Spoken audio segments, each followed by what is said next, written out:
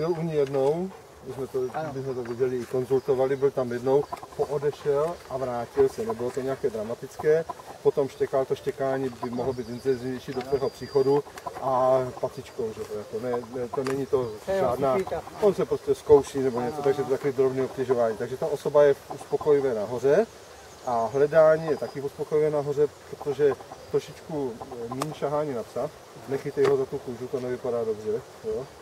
To, to, je takové, je to takové znamení, jako že si ho potřebuješ přidržet nebo něco.